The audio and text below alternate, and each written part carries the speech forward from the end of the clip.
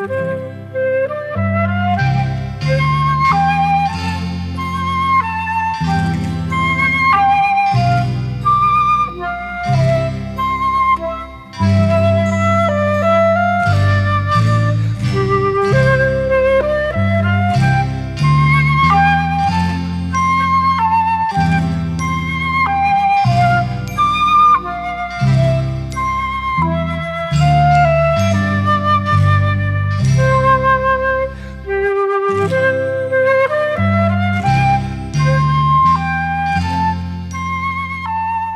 starem mestu, pod starim gradom, v starih ulicah stoje stare hiše.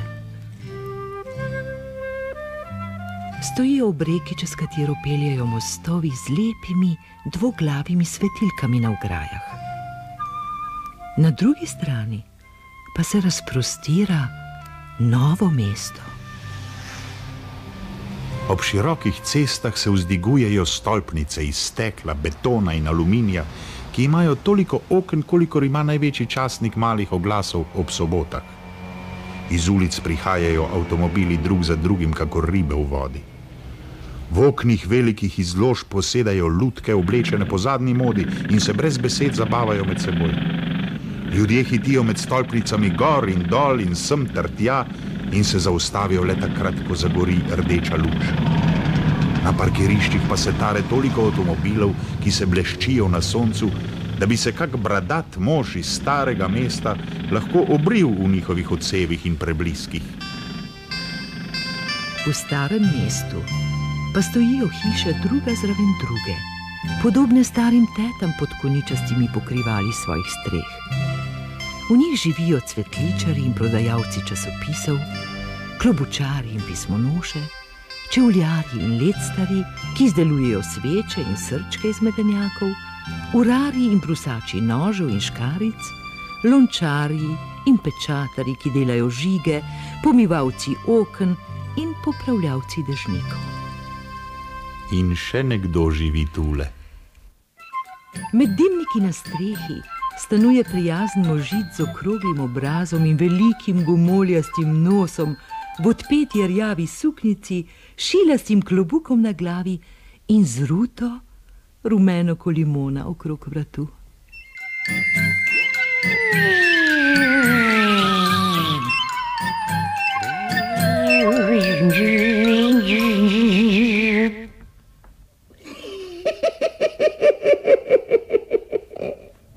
Imena nima.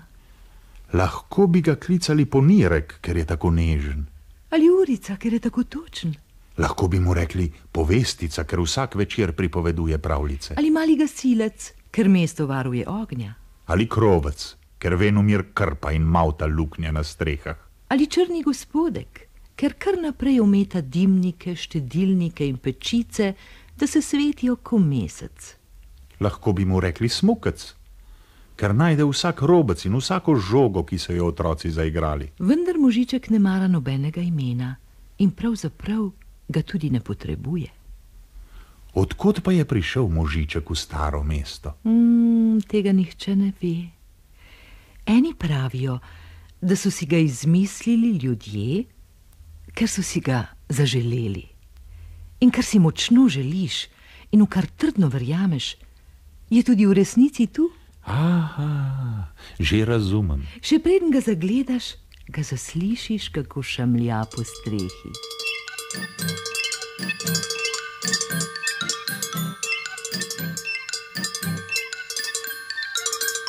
Danes, jutri, danes, jutri, kot da bi pasel dimnike. Majhen je, da ga je komaj opaziti, včasih čepi čisto pri miru, da ljudje pomislijo, To je eden izmed najmanjših dimnikov, kar sem jih kdaj videl. ali pa Klejno, tam pa se je strešnik postavil po konci. Vendar ga je treba samo poklicati in že se prikaže v žlebu. Hej, možiček, možiček. Kaj je dežnika? Oh, vesem iz sebe, kaj naj storim? Do jutra moram zakrpati 28 sončnikov in 24 marel. Pa me že zdaj tako bolijo oči, da še dežnikove kljuke ne razločim več. Odpravi se dežnikar v hrib za kako uro, potem pa se loti dela in videl boš, da ga boš opravil do jutra. Hvala, hvala, možiček, hvala. Možiček, možiček. Sem že tu, jakec. Splezal sem po žlebu, k gnezdu starih vran, pa ne morem ne nazaj, ne naprej. Umrl bom. Uhohoho. Veš kaj, z nogo se opri v obroč ob žlebu. Ha? Si se? Ja, sem. No, zdaj pa zatisni oči in se spusti. Zaprl sem oči, spuščam se.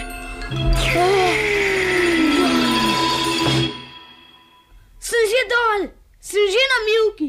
Možiček, možiček. Kaj je babica? Maček mi je ukradel klačenko z okna. Tamle se železnim dimnikom gre. Ha, samo da zajezdim palčko. Stoj, črnuh! Le kaj mi moraš, ti našimljeno, oni, ki so te same koščice, tako te poprasknem in osmodim. Čakaj, mjavkar stari, da te potegnem za četinasti uh.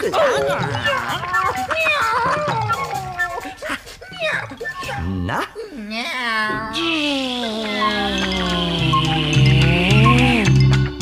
Na, babica tlačenko. Hvala, možiček. Malo ti jo je ponečedil, ne snaga. E, Stopilo, prosim, možiček meni na malico. Samo tole jabolko bi, če ga lahko vzamem z okenske police. Kar daj. Oh, hvala.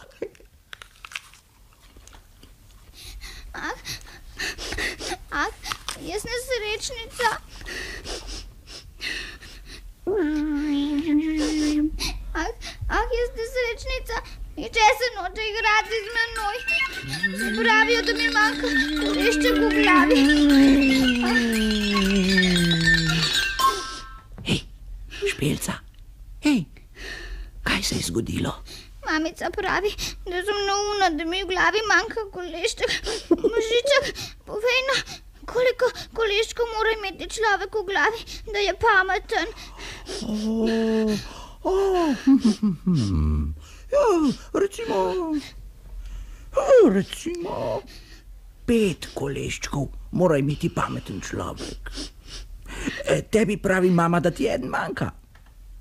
Sicer nisem strokovnjak za modroslovje, vendar mislim. Mislim, da so štirje koleščki kar čedno premoženje. Peti, ki ga še ni, bo s časoma že še prišel zraven.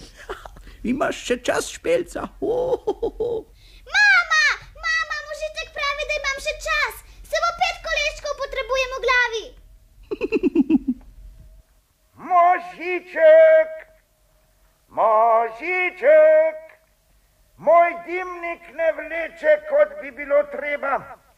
Pristavil sem kosilo za otroke, ki se bodo vsak čas vrnili iz šole. Lepo te prosim, ometi mi ga malo. Ja, kje pa si, dedek? Tukaj, v podstrežni liniji. Čakaj, čakaj, že lezem v dimnik.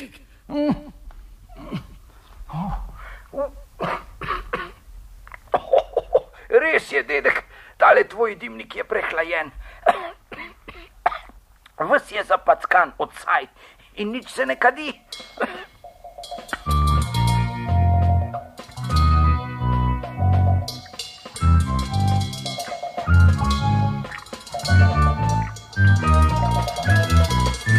Vidiš,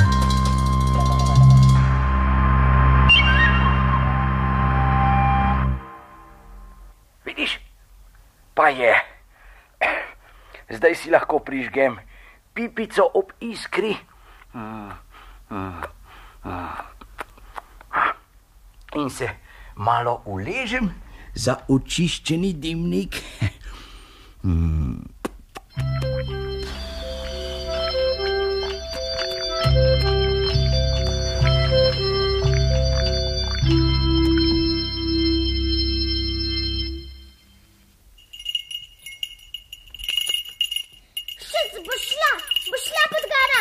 Bo šla stran s temi svojimi čakanji. Možičak, podgana je tu, kar naprej uhajaj svoje luknje.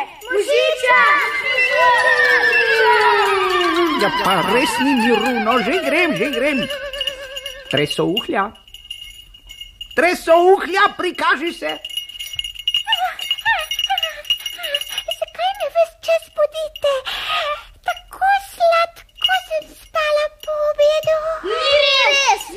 Poslušaj, tresouhlja.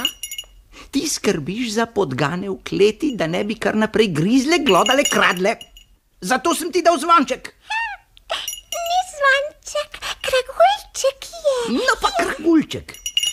Poslušaj, tresouhlja. Nauči svoje, da bojo dale mir zajčkom. Saj veš, kaj smo rekli?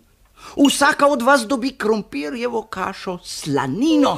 Če ne boste glodale strešnih opek in delale rovov pod podnicami, če ne boste nažirale krme in šunke v dimnici, ne grizle blazin po sobah ali otrokom polizale vsega sirupa iz steklenic.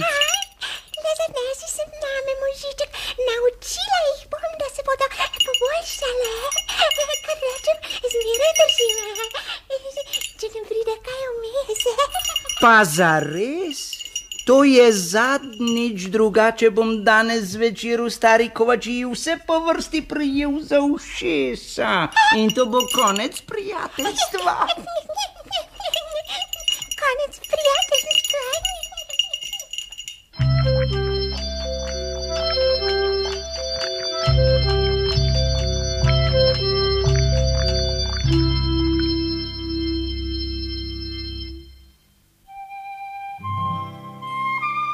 se stemni in najmočnejša nočna luč sveta, luna, osvetli staro mesto, in se v mesečini zasvetijo stare napisne table in deske. Slava pesmi, sedež pevcev, piskrovezov, tri korake od pisanih vrat dobite gumbe in bezavke, potem kruh in mešano blago, veseli napis, čudežno lutkovno gledališče, resna tabla, stare knjige in ptiči, železne plošče, ribja ulica in zvonarska steza. tedaj otroci ne morejo zaspati in so vsi na oknih.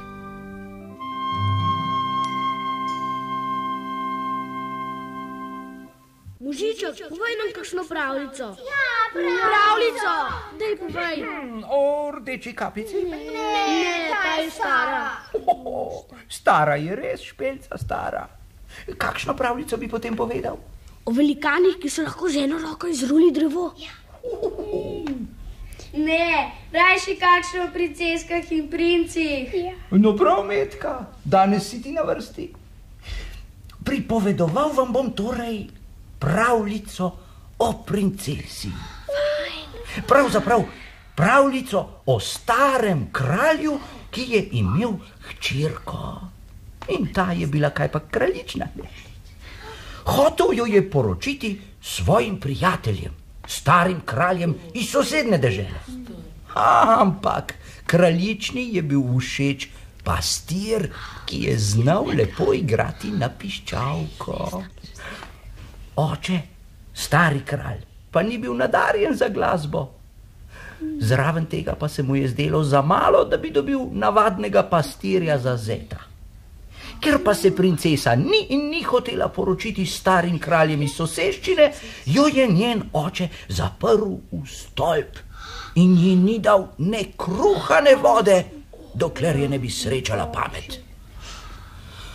Ampak, ker je bila kraljična mlada, je bolj cenila čustva kot pamet.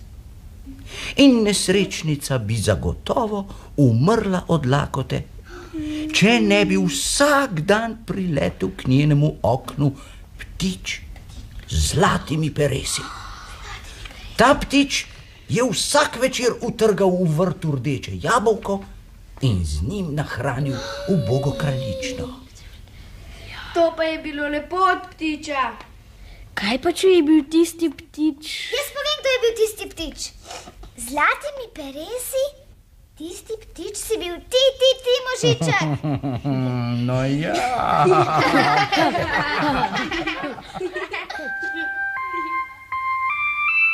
V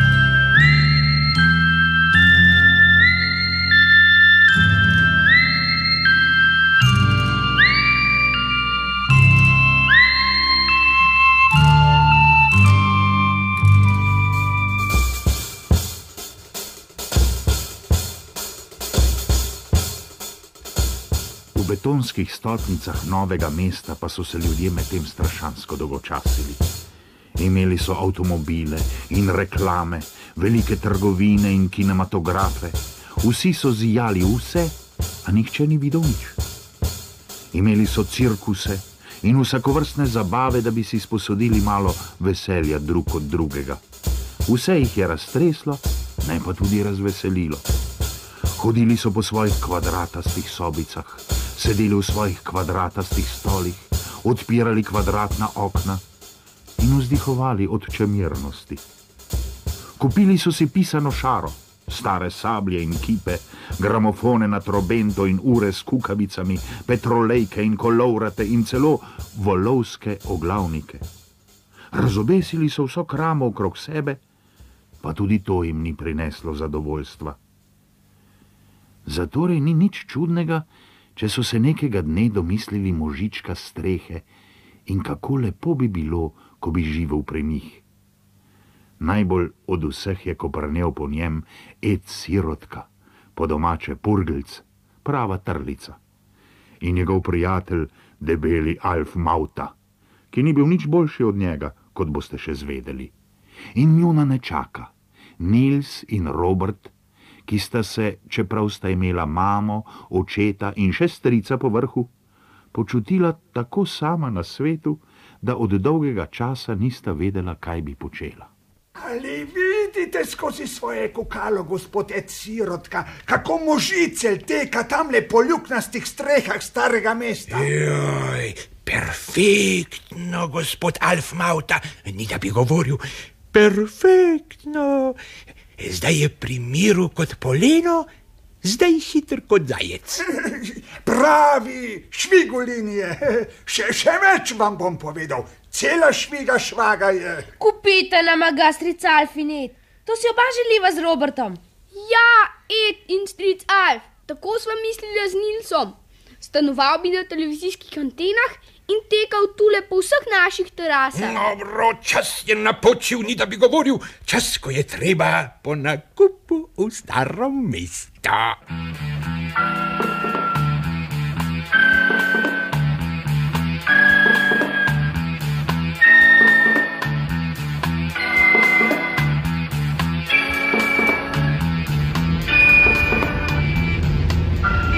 tako so se pripeljali nekega dne čez most v staro mesto, vsi tako bleščeči v svojih bleščečih avtomobilih, kot da bi jih v avtomobilski tovarni skupaj izdelali z njimi.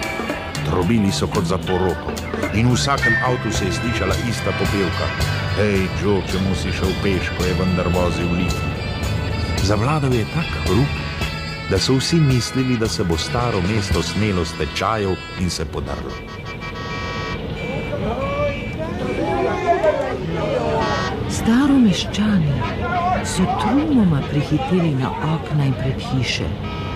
Možiček pa je bežal pred ropotom z eno nogo na strehi, s drugo po žledu. Možiček! Možiček! Možiček! Možiček! Možiček! Po, pozdravljeni. Prišli smo po kupčiji kupiti vašega škratelčka tam zgoraj. Damo vam toliko, kolikor boste zahtevali za Še več vam bom povedal. Za povrh bomo v vsako hišo postavili še televizor, da vas bo zvečer zabaval. No, velja, velja, gospoda, Saj ga ne moremo prodati. Ker ga tudi kupili nismo. Pa če tudi bi ga kupili, ga ne bi dali za noben cvenk na svetu. Kaj, kaj, kaj, kaj, kaj ste o pamet, ljudje božji? Eh, Vidite tisto eh, največjo stolpnico v mestu? Ni da bi govoril, to je banka. Polovico denarja, ki jo v njej vam damo za to, to je imenitna kupčija. In zraven tega se bo pri nas veliko bolje godilo. Še več vam bom povedal. Ne bomo treba umetati zapacanih dimnikov. Fej, fej, fej, fej. Ker imamo v vsaki hiši ogrevanje s toplim zrakom. Ja, in tudi, in tudi mu ne bo treba paziti na požare, ker imamo v vsakem nadstropju gasilni aparat, super minimax, ja, ni da bi govoril, eh, res se bo imel nad vse udobno pri nas. Ja, ja, še več vam bom povedal, gospoda. Vse, kar bo delal, bo le to, da nas bo kdaj pa kdaj pozabaval. Seveda, če bo hotel. A? Kako? No, no, torej udarimo. Ne. Možička ne damo. Možička ne damo. Ne damo. Možiček ni naš, ampak od celega mesta in od nikogar. In naš otrok ne bo nikoli zapustil. Tule je živel že, ko je bil moj praded, še takle frkolin, pa tudi sam ne bi maral nikoli odtot. Nas ima preveč rad. Res je. Možiček ni kanarček, da bi ga vtaknili v kletko. Vse ga lahko prihajate gledati in se pogovarjati z njim. Ja, In poslušati njegove pravljice. Dajte, no, saj ni ptiček v gozdu, da bi ga hodili gledati in poslušati. Eh, Če pa je tak ptiček, ga lahko, ni da bi govoril, ujamemo kot vsakega drugega ptička. O, našega možička že ne boste nikoli ujeli. Nikoli. Bomo videli. Zdaj, zdaj je pa bolje, da jo kar pobriševa domov, potem pa bomo že videli. Tako, tako, ja, tako.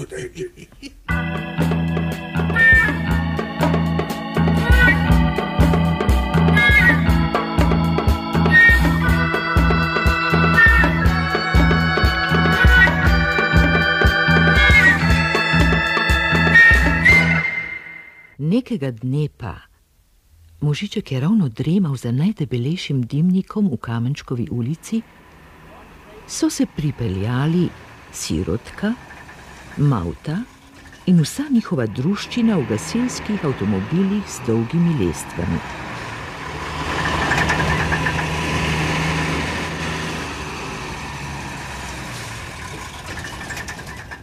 Ko so zagledali možička, so nastavili lestve, splezali na streho vsak svojo vrečo in tropom balonov, privezanim okrog pasu, da se ne bi ubili, če bi po naključju padli sleme.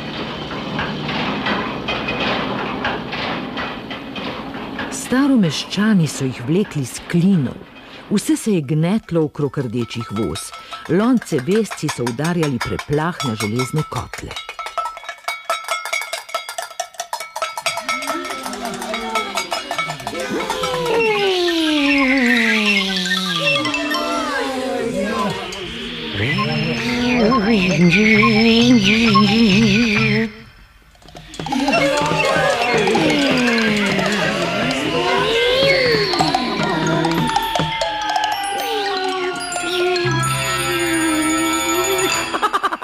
Ne boste me ujeli.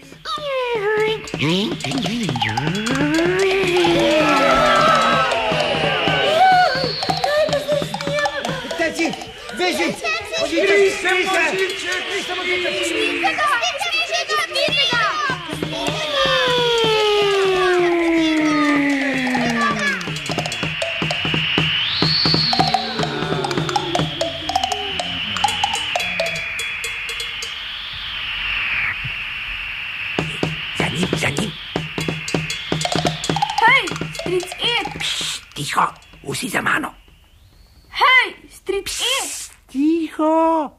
Pridite gor. samo nekaj bi ti rad povedal. bodi namiren. Hočem ti samo povedati, da sem se drugače odločil. Nočem več mužička, zato ga pusti ta, kjer je. Hej, stric Alf, Jezik za zobe. si slišal, kaj je rekel Robert? Kaj pa? Rekel je, ne pustimo možica pri miru. Tiho bodi. Hej, stric Alf, Ja, kaj je že jaz sem tudi za to. Zapri kljun. Kaj ne vidite, da je izginil? Kaj bo pa zdaj?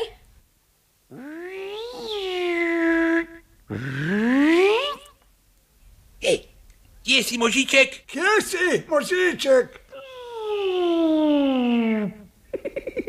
Tukaj sem. Tu, tu. Tukaj, tukaj. Kje? Kje tukaj? Tukaj, kje?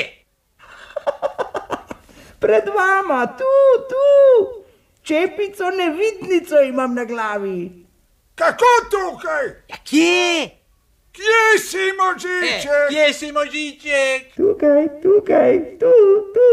A, tukaj si. Tukaj si, Smukec. smukec. Ne boš nama Ne, ne, ne boš nama všel.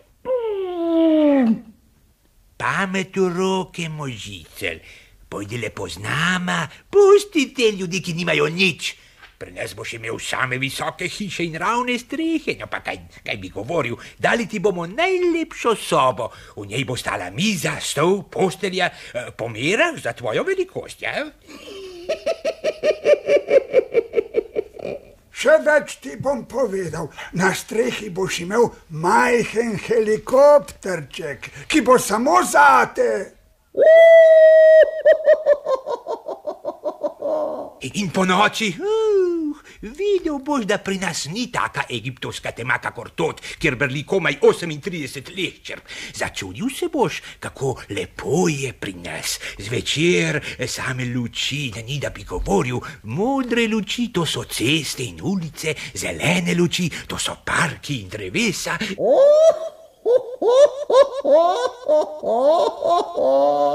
Še več ti bom povedal. Rumene luči, to so letališča in železnica. Škrlatno rdeče luči, to so avtomobili in žerjavi.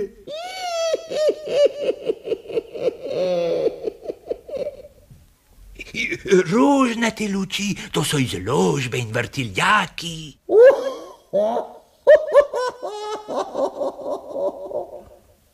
Še več ti bom povedal. Mauričaste luči, to so signali in reklame, ki se prižigajo in ugašajo, prižigajo in ugašajo, da ti kar šumi in poka v laseh.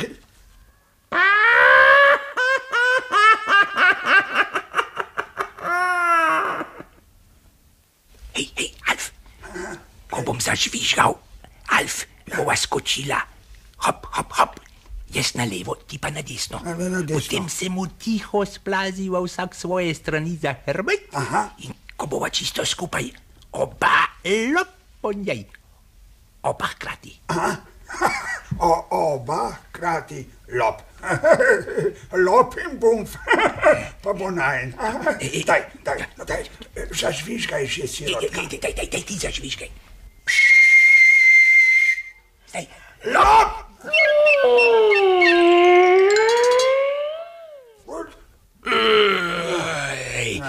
Dimnik je skočil, samo njegov klobuk mi je ostal v rokah, ni da bi govoril prekleto.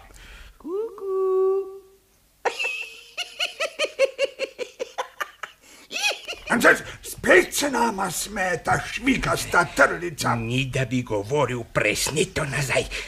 Povaljal mu bom klafeto, raztrgal jo bom, sedel bom na njo, vrgel jo bom psom. Nič ne pomaga. Še več ti bom povedal. Zdaj lahko samo še čakava in kadiva, kot pravijo v Romuniji.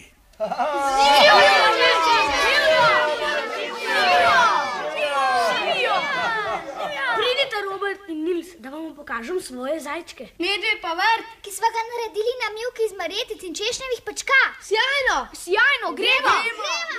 Možiček je skočil skozi dimnik v peč in zbežal v sajast in pepelnat skozi vratca na vrt. Tam je na petršilju ležal njegov klobuk.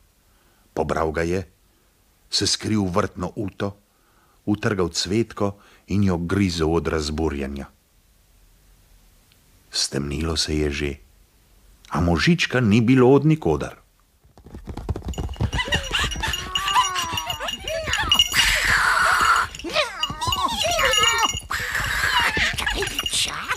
Kaj tresouhlja, da pregriznem glisto tvojega repa. Kar mijavkaj, mijavkar stari, še prej pa bom jaz pregriznila tvoj ščetinasti uhel. To cinglaj rajši svojim podganam v kleti. Jaz pa bom dal tebi drugačnega vetra. Mjau, Ti meni vetra, prej dam jaz tebi papra, neznaga mijavkarska. Ta je pa dobra tresouhlja. Ti meni popra. Mjau, mjau. Tebi, ja, linijaka zmikavčki, še prej pa te bom šel smile za Podgan. Podgan, joj, kuga in kolera. Gospod, da beživa, teciva. Beživa, beživa, joj, podgan. Kar dol se spravi ta jagodi. Nič zlega vama ne bo storila. Možiček! Le kam se je del, da ni padel v steklenico s čistili? Ha? Dajmo, vsi skupaj ga pokličimo. Možiček! Možiček! Možiček! Kaj, če ga ne najdemo več? Tega si kriv samo ti, stric E, in ti stric Alf. Res sva bila neumna, ni da bi govoril. Osla, eh, še več vam bom povedal, gumbca sva.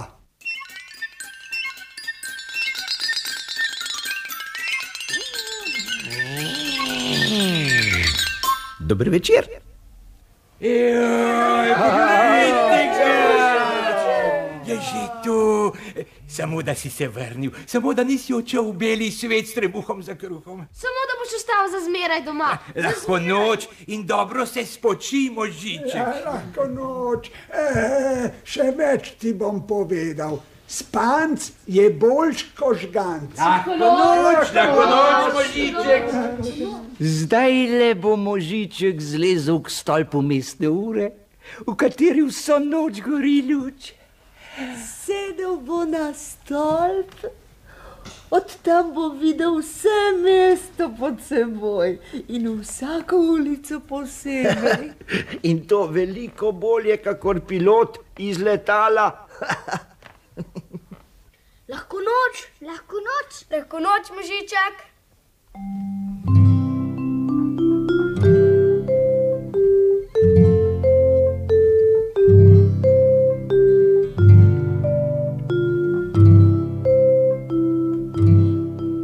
Včasih možiček malo zadremlje, potem pa spet tiho, škrt, škrt, stopa s palico po strehah.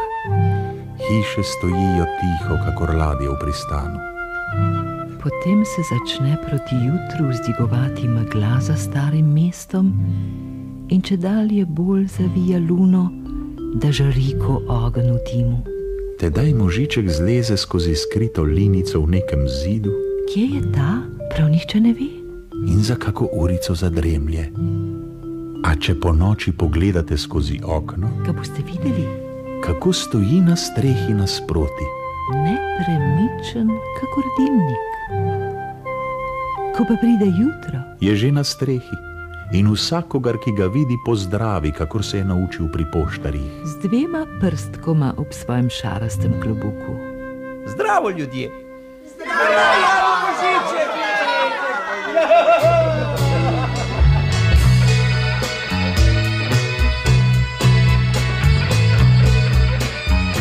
Tako je pač na svetu, če kaj zares verjameš, ne daj se to zares.